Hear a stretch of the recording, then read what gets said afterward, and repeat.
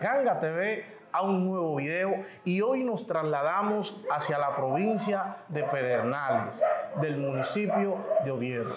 Y nos encontramos con el pastor Antonio Pérez. ¿Cómo está, pastor? ¿Cómo se Bueno, siente? estamos bien, gracias al Señor. Eh, tengo entendido que ¿cuántos años usted tiene, tiene siendo pastor acá? Bueno, eh, tengo como dos años siendo pastorado, o sea, trabajando en, en el pastorado. Pero en los caminos de Dios tengo 13 años. 13 años, Sí. bastante tiempo. Sí, la Son- gloria de Dios. Ahora mismo como está este tiempo son muy Sí. pocas las personas que duran tanto tiempo. Bien, eso es así. Eh, cuéntenos un poquito acerca de usted, porque tengo Bueno. entendido que usted, antes de ser pastor, fue una persona, eh, diríamos que dio mucha agua a beber. Sí, eh, Dios le bendiga a todos y a todos los que nos están también escuchando, para que también se den de cuenta verdaderamente los cambios que Dios hace en la persona, que verdaderamente Dios habla y camina con el hombre que lo escucha. En los tiempos antiguos, cuando yo estaba atrás, que era que estaba en el mundo, yo caminaba haciendo cosas que no le agradaban a Dios sabe que siempre me mantenía debajo de los vicios, del alcohol, de la droga. ¿Cómo cuáles, cuáles cosas? Como estaba primeramente, vendía droga y también la utilizaba. Sea que utilicé todo tipo casi de droga, porque utilicé muchos tipos de droga, para, o sea, como sustancia para mí, para mi cuerpo. Y luego el tiempo, duré largo tiempo transitándome en esos caminos, o sea que la vendía y también la consumía. Y todo lo que iba teniendo volvía otra, vez atrás a gastarlo, por medio de que me llevó a un vicio total, a un vicio terrible, un vicio que verdaderamente ya yo estaba, que no era mi, personali- mi personalidad que estaba, sino era el tipo ya que era una, como quien dice, después que ya uno está así, ya como que dice una rata, una persona que no tiene condiciones de que la personalidad se le acerquen o que siempre está huyéndole por medio de los problemas, de buscar problemas, buscar pleito, siempre está debajo del alcohol, de la droga, todos los tipos de droga ya estaban que ya mi cuerpo lo que hacía era que rechazaba la droga porque ya no, no convenía droga, entonces yo buscaba la forma de que mi cuerpo se sintiera endrogado, entonces yo hacía otro tipo más de droga que son inventados por las manos del hombre, ¿Cómo cuáles? como la nemocada, hacer té de nemocada con chocolate, eh, buscar también las, la, la hoja, o sea, una flor que le llaman la campana, Usted estaba ya en un extremo que usted eh, transcurrió o decidió consumir este tipo de droga casera. ¿Era porque usted no tenía los recursos ya para comprarla? No, recursos siempre había, porque yo siempre buscaba dinero. Entonces, ¿O era que no le hacía el efecto? El efecto, porque ya mi cuerpo estaba rechazando. quería un efecto sí, más fuerte. Sí, estaba rechazando ya la droga que yo consumía. Entonces ya tuve que estar buscando otro lado después. A lo largo tiempo, entonces me puse a estar bregando con lo que le llaman piedra, con el K, y luego también a utilizar también la pipa.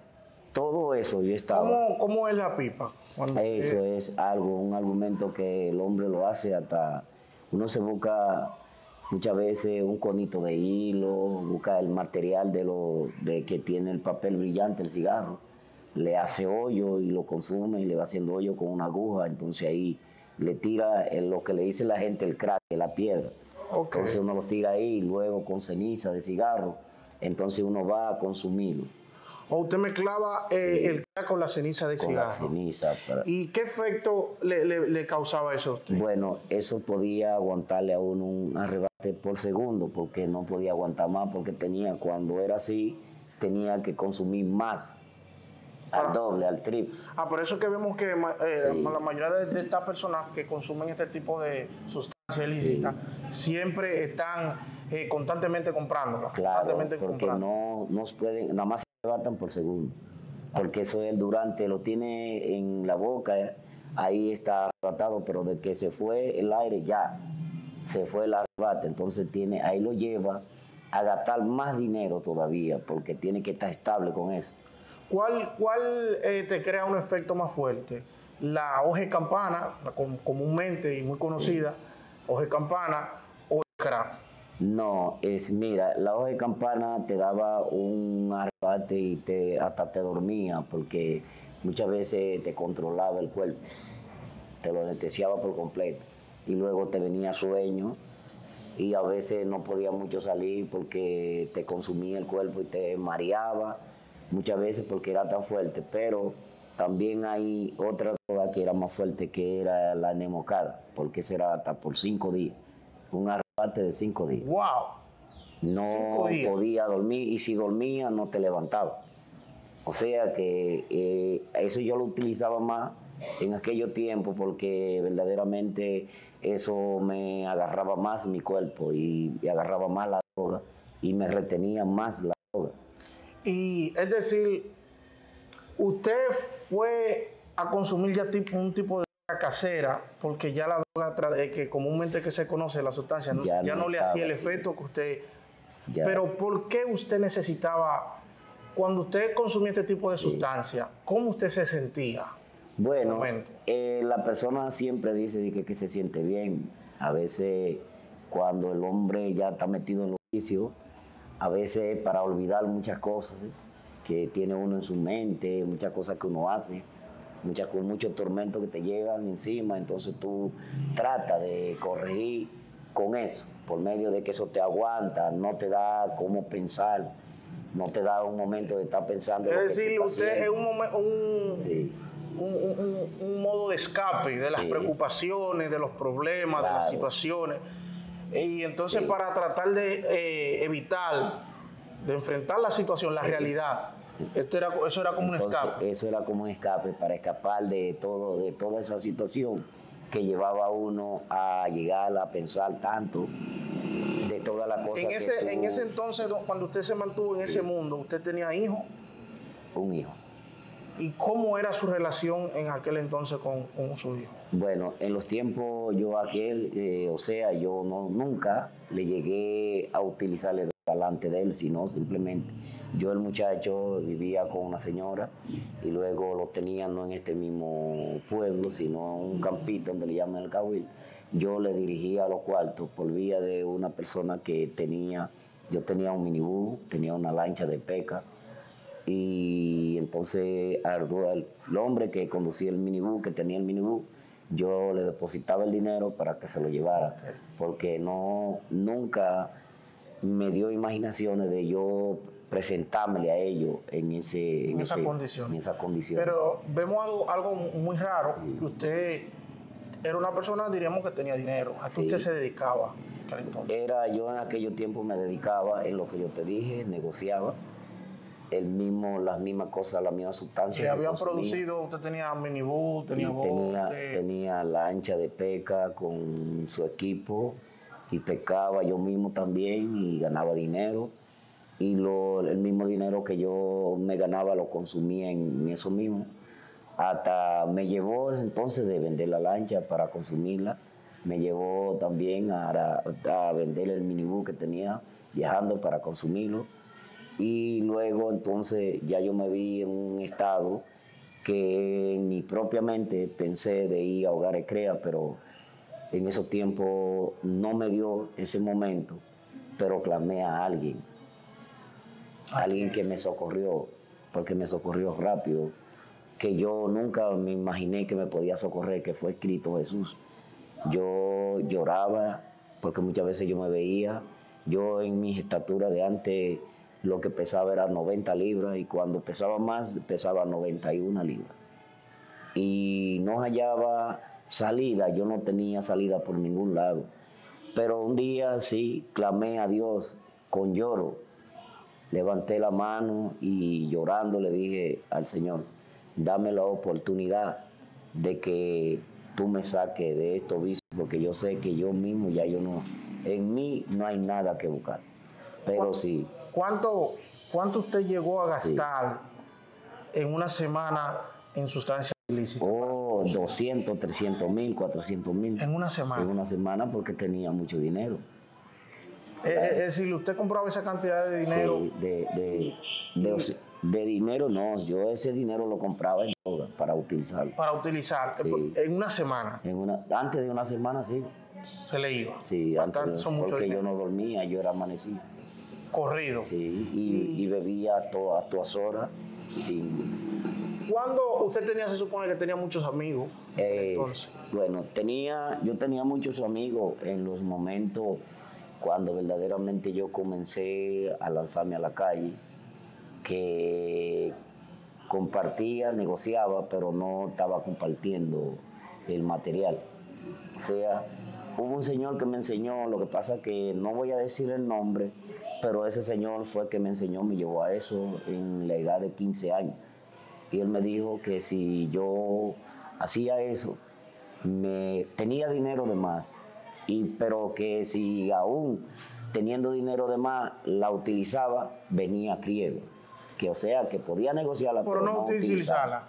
Para yo entonces poder hacer un hombre de mucho dinero. Pero yo comencé muy bien, comencé caminando bien y hasta que pude probar eso. Después que probé eso, en, ese, en esa instancia, ¿usted no tuvo alguna situación con las autoridades, la policía? bueno, gracias Señor no, No estuvo. porque siempre lo tenía de amistades.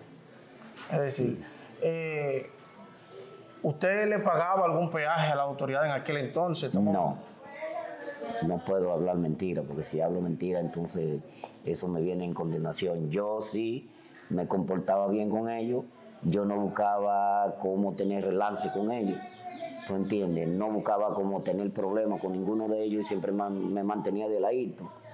Y hacía mis cosas, eh, pero ellos nunca me llegaban por medio de que yo nunca traté de hacer la cosa como que tuviera un toque o tuviera problemas con ellos.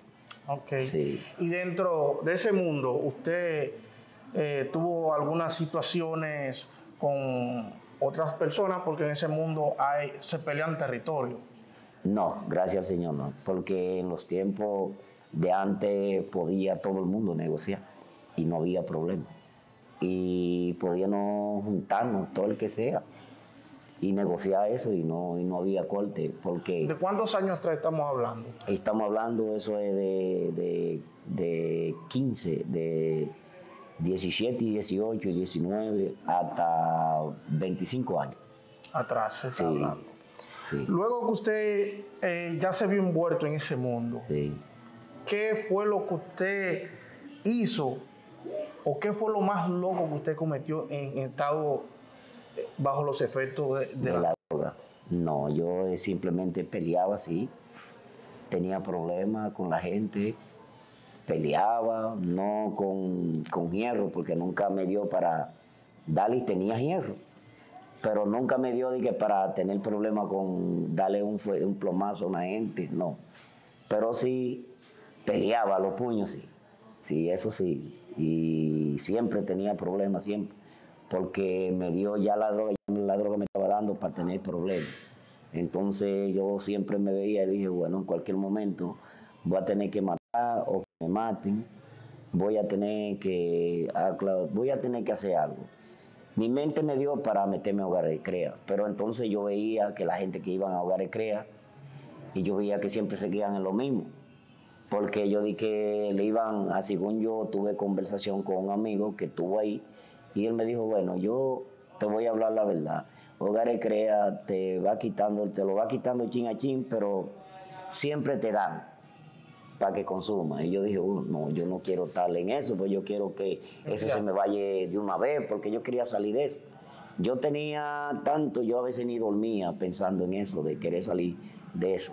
Pero aquí no hay hombre humano ni doctor que te saque de eso, solamente Dios cuando da la oportunidad, cuando verdaderamente Cristo Jesús te ama y cuando Él te marca desde el vientre de tu madre, porque Él te deja al mundo para que tú aprendas lo que hay en el mundo y para que tú llegues a tener problemas y de todo, pero era para que recapacite cuando Él hace la obra, porque después entonces yo clamaba a Él y hasta un largo tiempo entonces el Todopoderoso me hizo llamado.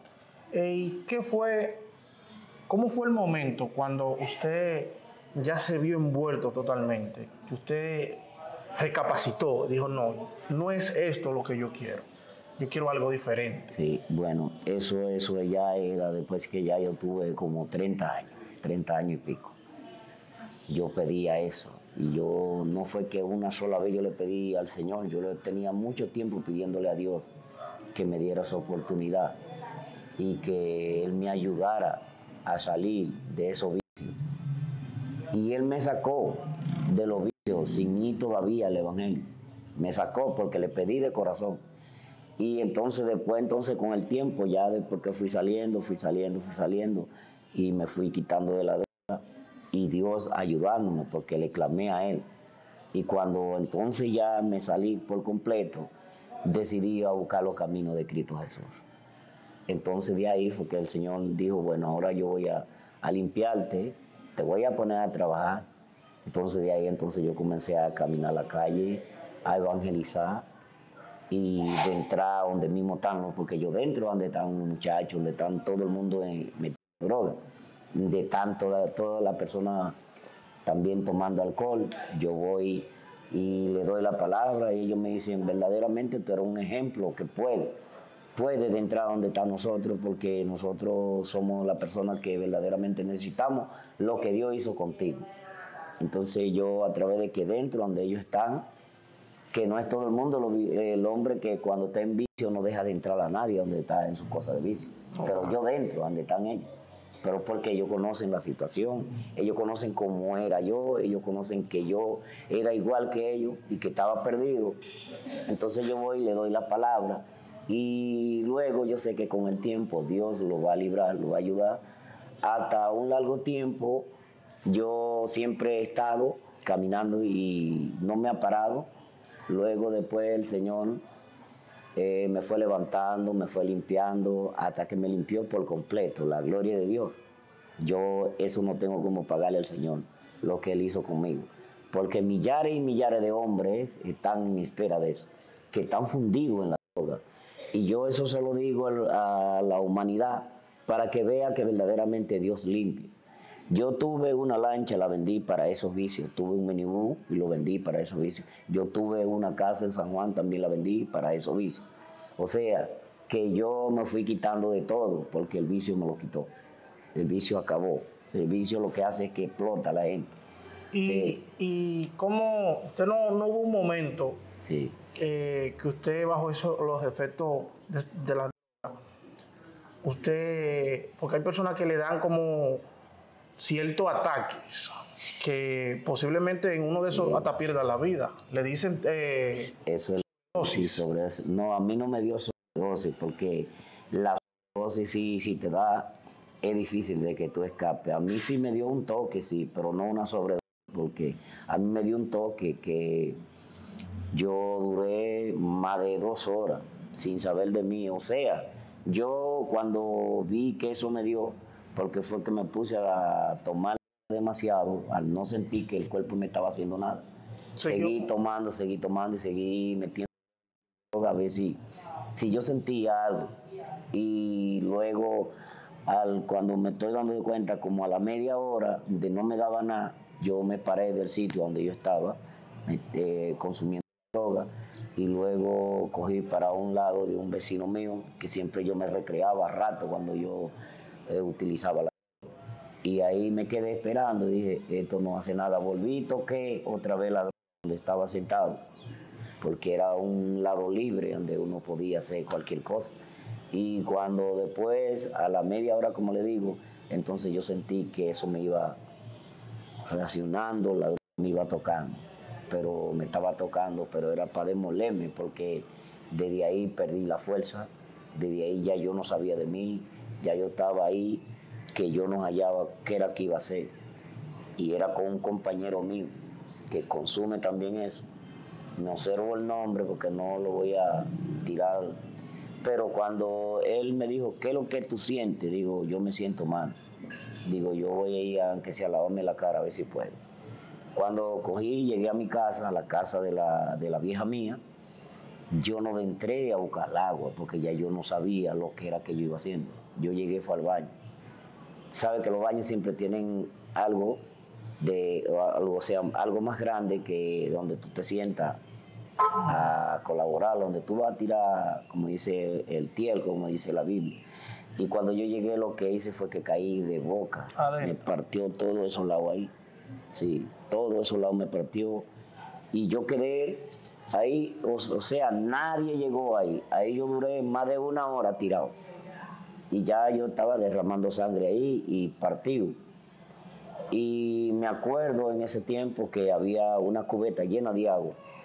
Y yo trataba de, de agarrar, que sea un chin de agua para llevarlo a la cara, sí.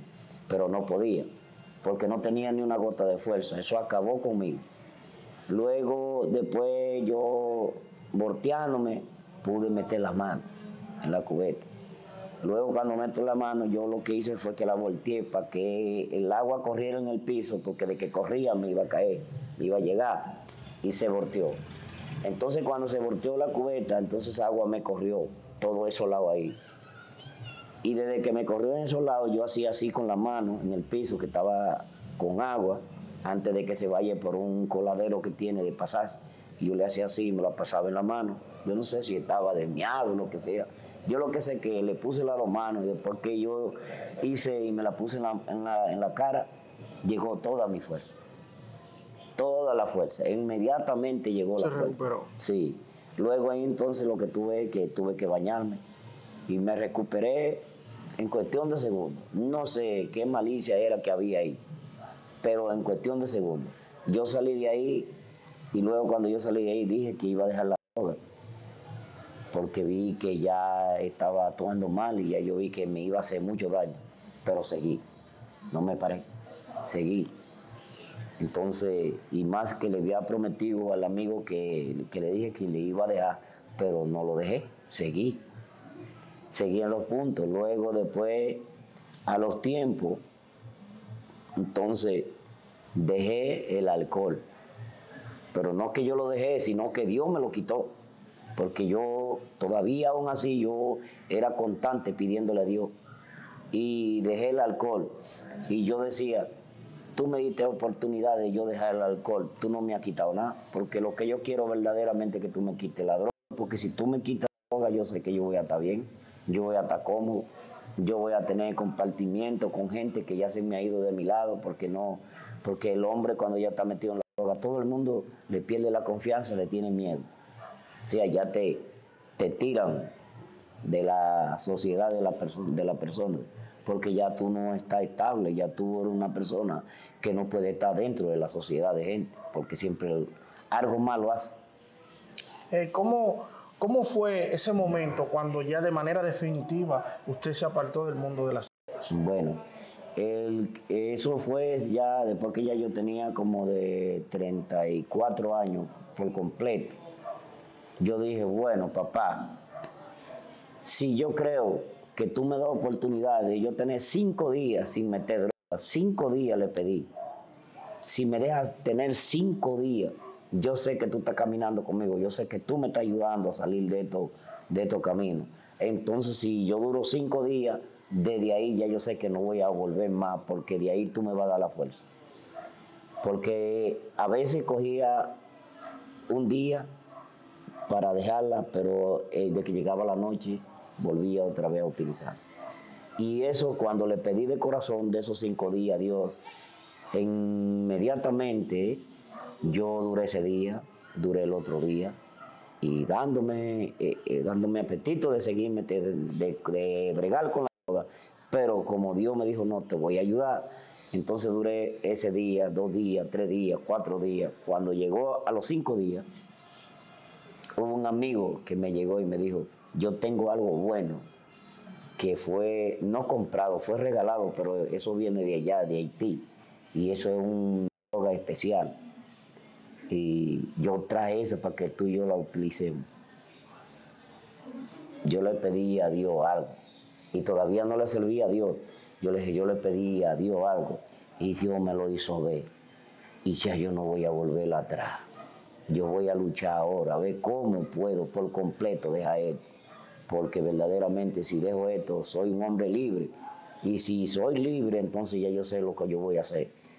Luego entonces duré un mes sin meter droga, dos meses, tres meses, y los amigos míos, y que bebían junto conmigo y que son de la calle, y es verdad, fulano, que tú vas a dejar eso. Bueno, yo estoy en eso.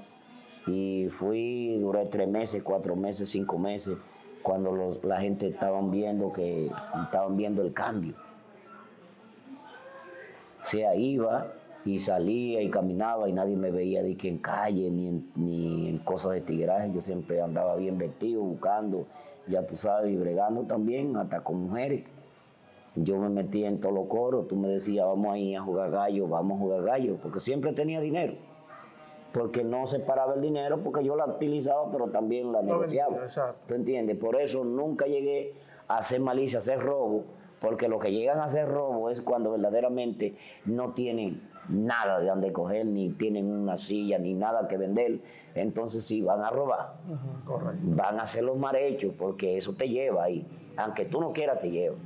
O sea que ya ahí tú pierdes la vergüenza de hacer lo que a ti te dé tu gana. Pero es haciéndolo, pero mal, porque es una perjudicación para uno, para uno mismo. Porque verdaderamente cuando tú estás en eso ya tú no tienes compasión de nadie. Se te importa robarle a tu madre, se te importa robarle a tu padre. Si también tienes que matar, para quitarle lo de ellos, para consumirlo. Porque en el instante, oye, cómo es que mucha gente me han dicho, y como que el vicioso mata a su padre o le roba a su madre o le hace a, su familia o, al particular le coge las cosas. La gente piensa que el vicioso mata después que se mete en droga. Eso es mentira. La droga es el vicioso, hace las cosas, es cuando verdaderamente, cuando no la tiene, en el instante que no la tiene. Porque en el instante que no la tiene es un desespero, una desesperación hasta, si es posible, de arrancarle la vida a quien sea, para él tener su obsequio en su mano. Luego, después que él tiene su obsequio en su mano y la, y la utiliza, no hay gente más cobarde que el que utiliza droga.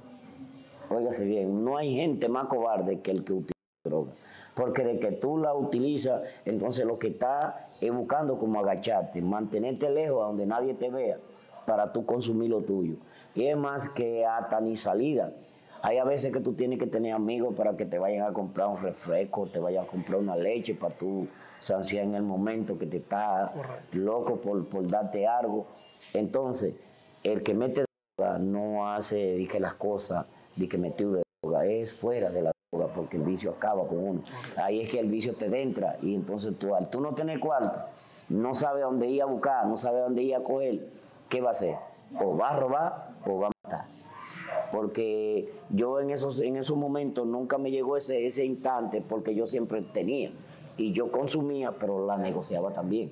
Entonces, por medio de eso, era que yo no, nunca tuve un relance de matar, nunca tuve un relance de robar para la gloria de Dios, pero le doy gracias a Dios y le pido a muchos de la gente que están metidos en vicio que si verdaderamente le piden a Dios de corazón, Dios lo hace, porque dicen gente que, que, Dios no oye al inconverso, Dios lo oye. Lo que pasa es que tú tienes que estar de corazón y tú tienes que depositarte, porque Dios tiene, te da un 100, pero tú también tienes que poner un 100 de tu parte. Porque si tú no pones un 100 de tu parte, tú no vas a salir. Porque ¿qué haces tú con pedirle a Dios? Yo necesito una silla, pero sentado donde está la silla, tú, no, la silla no te va a llegar. Tú tienes que hacer la posibilidad de buscar la ayuda de la silla. Entonces eso mismo es el vicio. Si tú le pides a Dios, entonces tú tienes, Dios te va a dar un 100, pero tú tienes que poner un 100. Tú tienes que tener una estabilidad para que ya tú sabes que tú le pediste a Dios de que te quite eso. Entonces ahí es que tú vas, entonces Dios va a comenzar a trabajar contigo. Decisiones tuyas y decisiones de Dios son dos partes juntas. Cuando se juntan, está completa la decisión. Entonces ahí se decide Dios hacer la obra. Correcto. Eh, ¿Cuál será el mensaje que usted le enviaría a toda esa juventud eh, que de cierta manera está envuelto o se quieren envolver en ese mundo de lo que es la sustancia ilícita? Bueno, el consejo y el mensaje que yo le doy a los amigos, a vecinos, a todos los que están ahora mismo están oyendo este, eh, este mensaje, que verdaderamente eso no es bueno, primeramente. Eso te aleja de tu familia, te quita de tu familia eso te aleja a un vicio profundo que después de tú ser un hombre ya viene a ser una rata, ya tú no eres nadie, ya tú eres una persona que te aleja de la sociedad de, la gente. Entonces algo que le tramite, que verdaderamente muchas veces la misma persona cuando está en los vicios se pregunta, ¿por qué fulano me huye? Tú pierdes los mejores amigos, porque los mejores amigos son los que te dan consejos, no son los que te dan mal consejo. A veces nosotros, cuando el hombre está metido en vicio, que el otro le da un consejo, mi hermano, deja esto, deja aquello, eh, usted es el peor enemigo para él. Usted es el peor enemigo porque yo eh, tuve todos esos puntos y yo sé cómo, por qué lo digo. Y muchos de, los mismas, de las mismas personas que me están viendo, que están bregando con eso, ellos saben que es así lo que yo lo estoy diciendo.